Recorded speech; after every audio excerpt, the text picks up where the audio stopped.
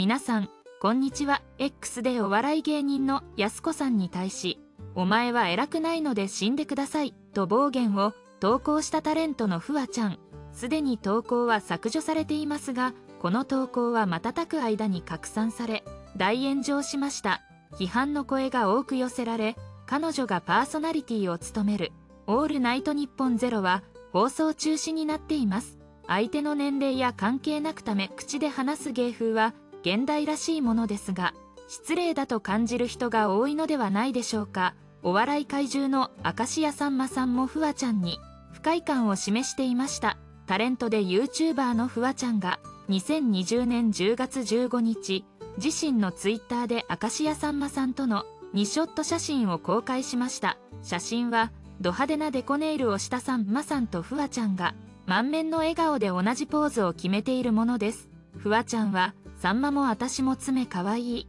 とコメントしさんまさんをさんまと呼び捨てにしていることが注目されました。この写真は16日放送予定のさんまのまんまき SP のオフショットです。放送内でもフワちゃんはさんまさんにタメ口を使い共演するタレントの山口智光さんを驚かせました。さんまさんがつけている。デコネイルはフワちゃんからのお土産で彼女がプロデュースしたものです。よく見るとさんまさんや番組ロゴまんまちゃんなどが施されています。このツイートにはめっちゃいい写真笑顔が素敵すぎる最高。2人とも可愛すぎる本物の親子っぽいすごく楽しそう待ち受けにしたいなどのコメントが多数寄せられました。お前は偉くないので死んでください予選敗退です。8月4日衝撃的なフワちゃんの投稿が波紋を呼びました。事の発端は8月2日に芸人やす子がやす子オリンピック生きてるだけで偉いのでみんな優勝ですと投稿したことでした。これに対しフワちゃんが冒頭の言葉を浴びせたのです。同投稿はすぐに削除され本当にすみません。今ここで皆さんに報告することではないのですが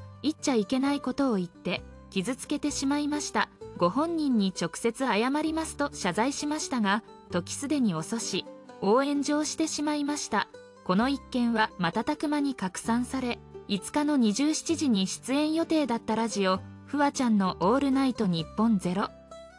ファ急遽出演休止になりました。さらに暴言を吐いた数時間後にインスタグラムに芸人仲間との写真を「夏休みだ」というコメント付きでアップしたことで全然反省していないと SNS で非難が殺到しました。芸能人の SNS での不適切な発言はたびたび取り上げられていますが最近ではアインシュタイン稲田直樹の DM 事件も話題となっていました。インスタグラムで女性に DM を送り番組の企画だからという名目で性的な写真を要求していた疑いが配信者これこれに暴露されました。しかし稲田さんは一貫して乗っ取りが原因だと主張し性的な写真を要求したことを否定しています。もしも乗っ取りであれば別のデバイスからのログイン履歴のスクリーンショットを見せるなどすぐに身の潔白を晴らす証拠を出すことができます。ただ現状ではこうした証拠は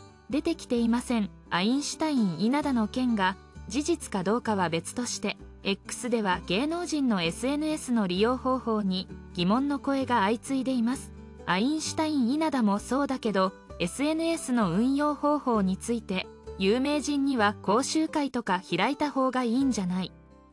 ある程度売れてる芸能人本人がマネージャーを通さないで直接 SNS を運用するのはやめた方がいいと思うんだよなもはや芸能人にとって。本人アカウントの SNS は足かせでしかない。SNS をやるなら本人は直接介入せずその分野に長けた人を雇って運用した方がいいと思う芸能人にとって SNS は使い方を間違えれば芸能人生を絶たれるきっかけになることも珍しくありません。芸人で言えば性加害で裁判を起こしているダウンタウンの松本さんもむやみに反感を買うような投稿を繰り返し自ら火に油を注ぐような行動をとっています。全般として SNS リテラシーが低すぎるのは間違いないでしょうね。SNS で有名になったフワちゃんですがどこかのタイミングでマネージャーに任せるべきだったのではないでしょうか。基本的にはどんな芸能人であっても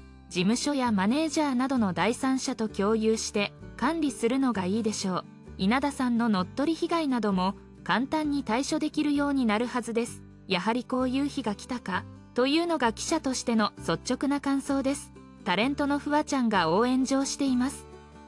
タメ口で大御所も呼び捨てにする奔放キャラはあくまで芸風として受け入れられる面もありましたが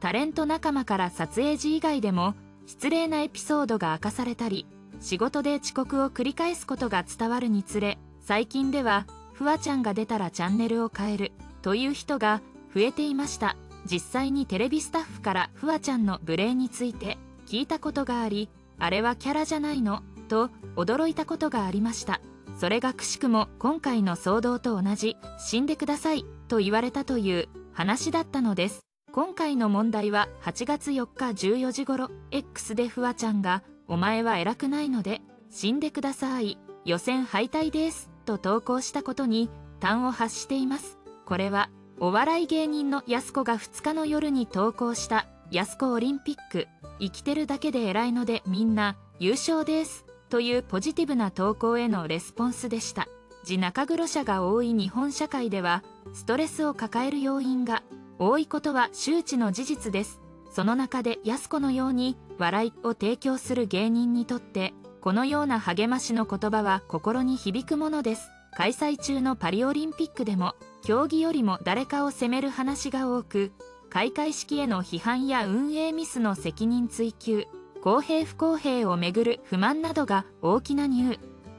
スになっていました。そうした中で安子の「皆優勝です」は癒しの一言でした。それに対して「死んでください」というフワちゃんの投稿はその意を組めない無神経なものでした。この投稿に怒りを覚えるのは当然ですが安子の気持ちとは逆行してしまうのが皮肉です。フワちゃんへの批判は集中し安子もとっても悲しい。と投稿しました。両者の間に親しい関係性がないことも明らかでした。フワちゃんは問題投稿を削除し本当にすみません。今ここで皆さんに報告することではないのですが言っちゃいけないこと言って傷つけてしまいました。ご本人に直接謝ります。と謝罪しましたがこれで収まるわけがありません。パーソナリティを務める日本放送。フワちゃんの「オールナイトニッポンゼロは翌日5日の放送を休止。出演予定の人気番組も対応に追われスタッフに聞くと収録済みのものがあるのでその部分は差し替えるかもと話していました。この認識が末端の現場にあるならば生出演もキャンセルになる可能性が高いです。たった一つの投稿で全ての仕事を失うことが考えられる事態です。フワちゃんの SNS での暴言は4年前から始まっておりクリス松村さんからもそれをずっとやっていたら本当に消されるわよと警告されていました。しかしその助言を聞き入れなかった結果が今回の騒動につながっているとも言えます。さんまさんはラジオで若者の発言について厳しい指摘をしており今年2月20日に放送の MBS ラジオ「ヤングタウン土曜日」に出演した際若者が年寄りに合わせるべきだと強調しました。フワちゃんも30歳になり大人としての振る舞いを覚えるべきでしたがそれができなかったのは残念です。これからの芸能界は様々な部分で厳しくなっていくでしょう。特に失礼な態度のタレントはすぐに消えていくのではないでしょうか。タレントのフワちゃん年齢非公表が SNS 上でお笑い芸人やす子に対して不適切発言をした問題で6日に2人が直接会いフワちゃんが謝罪したことが分かった。関係者によるとやす子は大騒動となったことに戸惑いはあるものの謝罪を受け入れており2人の間にわだかまりは残っていないという。事の発端は4日安子が X 旧ツイッターに投稿した安子オリンピック。生きてるだけで偉いのでみんな。優勝ですの書き込みをフワちゃんが引用しお前は偉くない予選敗退ですなどと書き込んだこと。その後投稿を削除し謝罪していたが炎上状態に5日深夜の日本放送フワちゃんのオールナイトニッポンゼロが急遽放送休止になるなど余波が広がっていた最後までご視聴いただきありがとうございました何かございましたらコメントください。よかったら高評価とチャンネル登録もよろしくお願いします。ではまた次回でお会いしましょう。